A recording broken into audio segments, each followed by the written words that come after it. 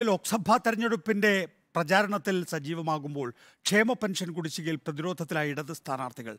Pension കിട്ടാത്തതിനെക്കുറിച്ച് മുന്നണിയുടെ പ്രവർത്തകരിൽ നിന്ന് തന്നെ ചോദ്യങ്ങൾ ഉയരുമ്പോൾ സ്ഥാനാർത്ഥികൾക്ക് ഉത്തരം മുട്ടുകയാണ് ആറുമാസത്തെ പെൻഷൻ കുടിശ്ശികയിൽ രണ്ടു മാസത്തെ പണം വിതരണം ചെയ്യുമെന്ന് പ്രഖ്യാപിച്ചിരുന്നുവെങ്കിലും അതിനിയും നടപ്പായില്ല. കേന്ദ്രത്തിന്റെ ഉദാരവൽക്കരണ നയത്തിന് കേരളത്തിന്റെ ബദൽ വികസനത്തിനൊപ്പം എല്ലാവരിലേക്കും എത്തുന്ന ക്ഷേമ പ്രവർത്തനം അൻപത്തി ഒമ്പത് ലക്ഷം പേർക്ക് പെൻഷൻ ഇതാണ് ലോക്സഭാ തെരഞ്ഞെടുപ്പിൽ എൽ ഡി എഫ് ഉന്നയിക്കുന്ന പ്രധാന മുദ്രാവാക്യം. എന്നാൽ എല്ലാ ക്ഷേമ പെൻഷനുകളും കുടിശ്ശികയാണ്. മാസം ആയിരത്തി അറുന്നൂറ് രൂപ നിരക്കിൽ ആറുമാസത്തെ കുടിശ്ശികയായി ഒൻപതിനായിരത്തി അറുന്നൂറ് രൂപയാണ് ഗുണഭോക്താക്കൾക്ക് കിട്ടാനുള്ളത്. പ്രചാരണ രംഗത്തേക്ക് ഇറങ്ങി സ്ഥാനാർത്ഥികൾ നേരിടുന്ന പ്രധാന വെല്ലുവിളി പെൻഷൻ കുടിശ്ശിക കൊടുക്കാത്തതിൽ തൃപ്തികരമായ വിശദീകരണം നൽകലാണ്.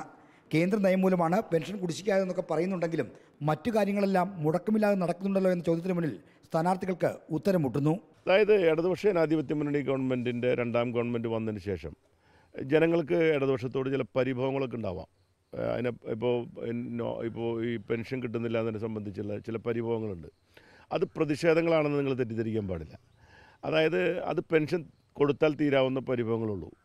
ഈ ജനങ്ങൾക്ക് ഞാൻ ആ മന്ത്രിസഭയിൽ അംഗീകരിക്കും അറുന്നൂറ് രൂപ പെൻഷൻ ഉണ്ടായിരുന്നു ഞങ്ങളുടെ ഗവൺമെന്റ് കാലത്താണ് അന്നത്തെ ഗവൺമെന്റാണ് ഇടതുപക്ഷ ഗവൺമെന്റാണ് ആയിരത്തി അറുന്നൂറ് രൂപയായിട്ട് വർദ്ധിപ്പിക്കുകയും അമ്പത്തെട്ട് ലക്ഷം ജനങ്ങൾക്ക് അത് കൊടുക്കുകയും ചെയ്യുന്നത്.